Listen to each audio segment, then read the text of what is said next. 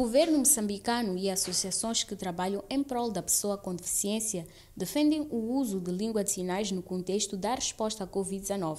O posicionamento foi revelado no encontro online organizado pelo Fórum das Associações Moçambicanas de Pessoas com Deficiência em parceria com a Agência Italiana de Cooperação para o Desenvolvimento. Nesse momento que estamos a enfrentar essa questão da Covid-19, o intérprete tem tanto trabalho para poder se preparar, preparar os sinais, emitir os sinais, dominar aquilo que são uh, uh, os assuntos que são tratados no âmbito da Covid-19. Em relação a essa pandemia, sempre, diariamente, é necessário que lá haja intérprete. Temos visto isso para a divulgação da informação.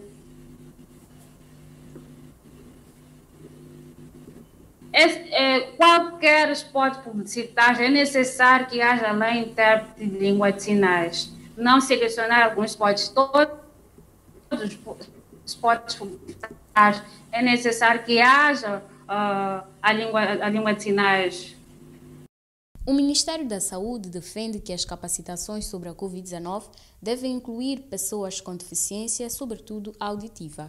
Para poder ver como nós podemos oferecer melhor os nossos serviços.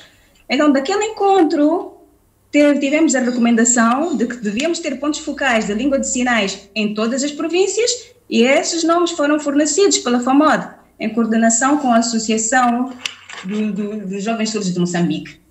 Esta lista foi enviada para todas as direções provinciais. Então, a partir da altura em que esta lista está na posse das direções provinciais, o primeiro a fazer é formar estes indivíduos para que tenham o mínimo conhecimento sobre o que é a Covid, para depois poderem conseguir transmitir de forma correta. Então, este é um dos pontos e que deve continuar a ser feito a nível das províncias. Para a ex-ministra de Gênero, Criança e Ação Social e atual comissária responsável pela área de direitos das pessoas com deficiência, Cidália Chauque, as informações sobre a Covid-19 devem ser mais inclusivas. A primeira uh, coisa que deve ser feita é a aprovação da lei dos direitos das pessoas com deficiência. A partir do momento em que nós tivermos a lei que está neste momento, foi submetida à Assembleia da República a ser discutida por todos os segmentos e ser aprovada, aí virá a sua, a, para termos um, um, um instrumento regulador. Aí teremos os várias, várias leis da, da língua de, de, de sinais, de, do uso da língua, da língua braille, dos vários segmentos. O acesso à informação pertinente sobre a Covid-19 deve ser preocupação do Ministério do Gênero, Criança e Ação Social, tal como explica Eufêmia Amela, diretora nacional adjunta de ação social. Promove o respeito pelos direitos humanos, né?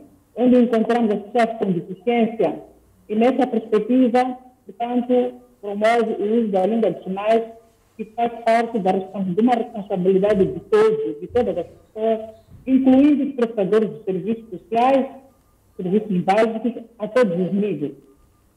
O Ministério, para além disso, também tem o papel de coordenador, reconhecendo a língua de sinais como um meio de comunicação, um meio que garante a socialização e interação das pessoas com deficiência auditiva na sociedade.